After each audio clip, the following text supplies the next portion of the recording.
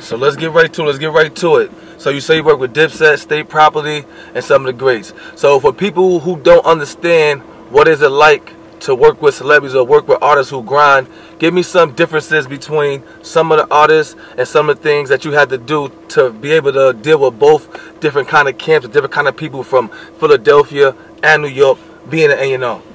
Oh man, what I was doing for old camps was different. I was different. Like probably pretty much. Uh, I'm not even gonna say different.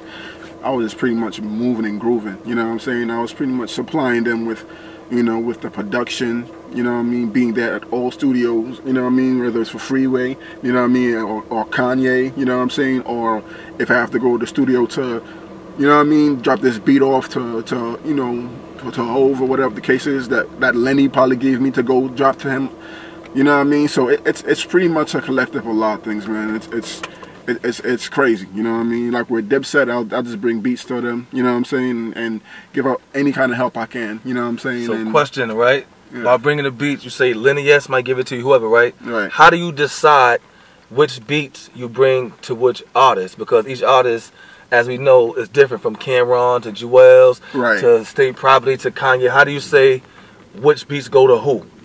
Mm, well, me, I got a crazy ear. You know, I, can automatically hear a beat and I could be like, okay, this one's for, for I could hear. You know what I'm saying? So and, tell me one time where you picked the beat for a person and that was that beat and it did what it did. Okay, let's say for example, uh, Young Gunz. You know, can't stop, won't stop. That was you know six figure digger. You know what I mean? Shout out Which to? Six The Figure Can't. Stop, Won't Stop, Roc-A-Fella. Records. We get, we get down, baby. You picked that. Yeah, yes sir, yes sir. In fact, I, I- you know what I mean. I, I picked most of those beats. You know what I'm saying on that album. You know when I was working on that album. So how did you crazy. get that beat? And tell me the process of getting that beat and actually getting that beat to the Young Gunz. Man, it was uh, Gino know, and, Six Figure. Man, when once I heard that beat, you know what I'm saying, I automatically just you know gave him this. It was on the CD. I remember we had you know we carried the The beats on the CD. Yeah, so we had I, I just gave to, you know, to, to both of them. You know what I mean, to Young Gunz. You know what I'm saying, and and. You know, and that was it. History was made from there. You know what I'm saying? They, they made a crazy, crazy ass hit. You know what I mean with that. You know what I'm saying? That's how it was. Okay. But yeah, shout out to Gino, shout out to Six Figure. You know what I mean? Because the producers used to come to the office and drop the beats off to us. You know what I mean? Give us the CDs and everything, and we would just go through it and rummage through everything while we mm-hmm. was in the office. You know All what I mean? So next question would be, what did it feel like knowing that that beat was picked and it was a hit? And for the viewers who love to watch and who think they know everything, what was the payout like for you being paid as an A&R? How does that work when you discover a hit record beat? For the people who don't understand how the business works. Oh man, how that works is is credit, man. Credit's like the most important thing in the world. You know what I mean? Once you have that credit, that's like more it's more than a billion dollars or whatever. You know what I'm saying? So that's that's how excuse me, that's how, you know what I mean, the A&R gets paid. You know, you got points, you got, you know, kinds of other things too as well. You know what I mean? It all, it all depends on the situation of the record, you know what I'm saying? So that's what pretty much went down with that, you know what I mean? But, more so, you know, my credit is what, you know, is what stomped me, you know what I mean, stamped me. You know what I mean? It made me. You know what I mean? So you worked with early Kanye West. You been there because we've seen many, many interviews of everybody with they take on what was going down. So they probably spoke on what they felt was was going down during the um during the um split. So what's your take on the split, far as you seeing it happen and it happening?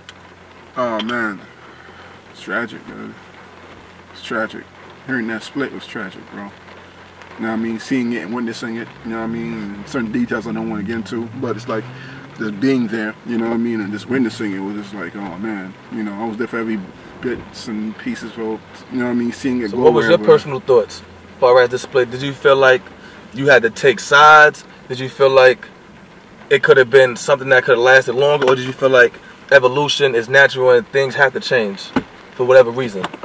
Oh man, I felt like I felt like it was evolution. You know, I feel like you know it's a growth thing with most, most likely with Hove. You know, what I mean, he wants to, you know, Expand. expand. You know what I'm saying? And you know, at the end of the day, you know, it's like who would have thought that that would have happened? You know, what I mean, a lot of history was made with Roc-A-Fella. So, being that a lot of history was made with Roc-A-Fella, you know what I'm saying? It was like, who want to see that split up? You know what I mean? Like that that that was just definitely tragic. You know what I mean? But I was there for every step of, of the way. You know what I mean? When I you know, as far as certain things. You know what I mean? And So when the split did happen, did you take sides? Did you choose sides? Like where did you go after the split? How did you survive the split, or or like did you have to hang with Dame? Could you go certain places because Jay Friends was there? Like what was it like for you after the split with Ramses?